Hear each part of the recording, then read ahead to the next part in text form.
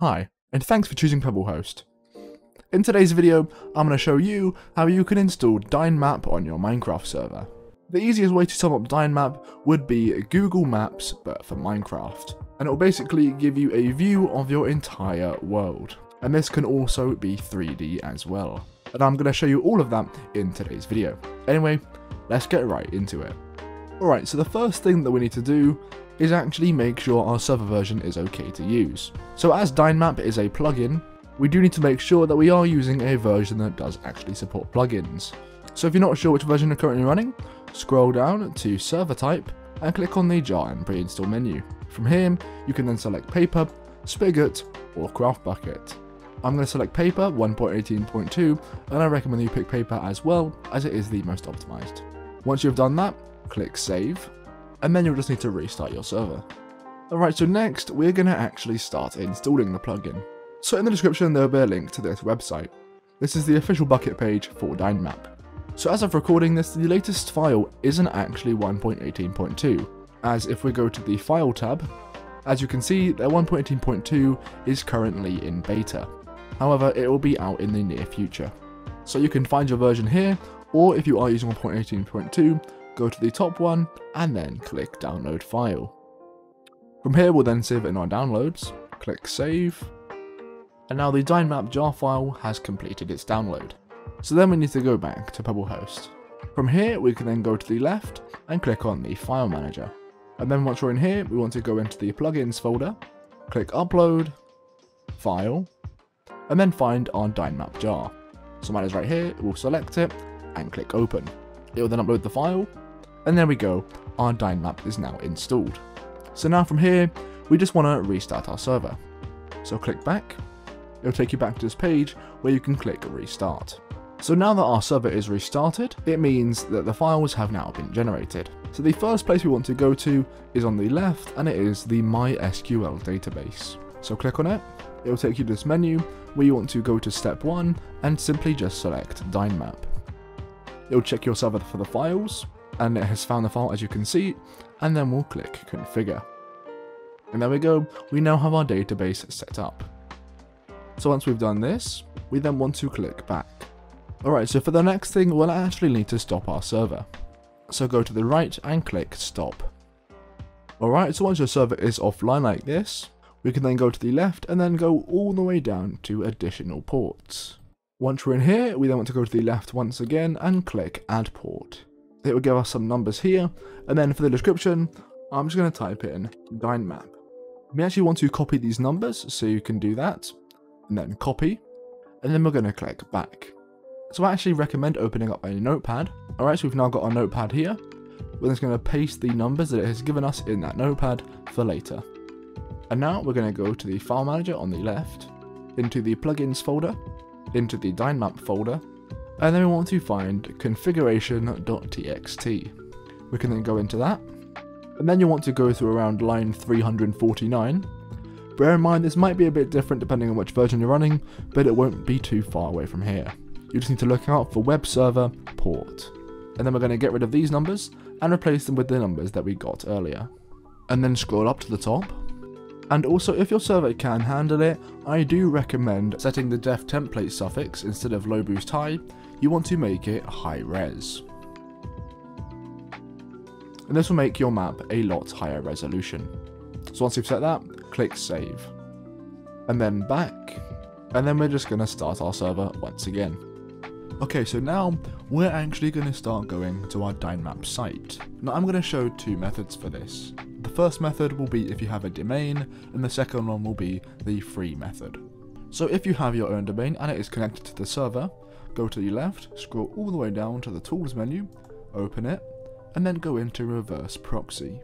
Once you're in here, the page will look like this, where of course you can read what it's for, but I'll explain it now. So what this means is that you can actually use your domain to get to your map instead of using your IP and then your port. And also one of the more important things is that you get an SSL certificate, and this means that it will work with HTTPS. So as it says, what you need for this is a domain. So for step 1 you need to make sure your DNS is set up correctly, so just follow all of these steps. What I'm going to show you is step 2. So it's pretty simple, so just get your domain, paste your domain in here. If it is configured correctly, it will say on the right, configured correctly. And then you select your Dynmap port, which of course mine is my only one. So once you have that, just click save. However, it does at the bottom, changes on this page may take a few minutes to be processed. So after it is done, wait a few minutes before you actually try going to the site. So what this means is I'll be able to go to this website and I'll be able to see my Dynmap. So then click save, and then we can click back on the left. Once that is done, you'll need to restart your server. Alright, so it's now been a few minutes, so we're going to make a new tab, and then we're going to type in our domain just like how we did it before. And as you can see, it's taken us to our Dynmap page. And if we click on the link, you can see that it is just this. So it's a much more simplified and professional link that you can send to people. And it's a lot better if you do have a bigger public server. Anyway, let's get on to the free method. Once the server has loaded, we're actually going to go to our Dynmap page. So where you find your IP, click copy IP. From here, we then want to put it in the URL. So take out your URL and put in your IP right here. And then these five numbers after the colon, you want to take out, and then bring up your notepad and this is where we put the numbers earlier. We can copy these numbers once again, and then paste them after this colon. So it'll be the first bit of your IP, and then the port for Dynmap. We can then press enter, and as you can see, it's currently black. Now this is because we haven't actually started a render. So first of all, let's join the server. So as you can see, we now have our Minecraft and our website right next to each other. And you can actually see on Dynmap that I am in the game and I've zoomed in a bit and if you see you can actually see that I am moving around. Now it does have a little delay but it is nothing major at all. So now in Minecraft what we're going to do is we're going to do slash dynmap and then we want to do full render. So we're now going to run that command and Dynmap is going to start loading the world around us. Now of course this will depend on how big your world is. One way you can make it a lot quicker is by setting a world border around the part that you actually want to render.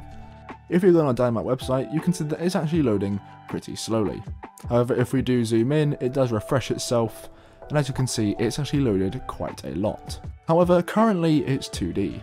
It has got quite a bit of detail as it does mark each block individually, however, I want it to be 3D. So then we can go to the right, and as you can see on world, we can then select the green cube, which would be the surface, and this will mean that it is 3D. So once we click that, as you can see it's starting to load it in the 3D view. So of course you will need to give it some time, as it is rendering your whole world in real time. So we've given it a few more minutes and as you can see it started to render a lot more of the map. If for some reason you do want to actually cancel the render, you can do slash dynmap and then cancel render. What you can also do on Dynmap, if you go to the right, you can also go to the caves. If you click the blue cube, it will take you to the cave map. Now as you can see, this is actually all built manually, so there actually is no caves. However, if you do this to your world, you will see quite a few caves under your world. You can also go to the right and do world nether, both flat and 3D and also the end as well. Now the progress is actually going pretty slow on this, and that's because this isn't actually the spawn area, as Dynmap will actually prioritise the spawn area. So as you can see it is slowly getting to where I am, but of course it is prioritising the spawn area much more. Now these big blocks of water are really there, it's not a bug with Dynmap, and the end of the world is also here in the game as well. So if you just give it some more time it will render the whole world. Now of course if you have built a lot of stuff around spawn, then this won't be a problem for you. So this is from a few hours in the future, and as you can see it has loaded the map perfectly. And yes, the map is actually built like that, so all of those edges are actually in the game. Anyway, hopefully you have enjoyed today's video. If you have, and if it was helpful, definitely leave a like and also subscribe, and hopefully, I'll see you next time.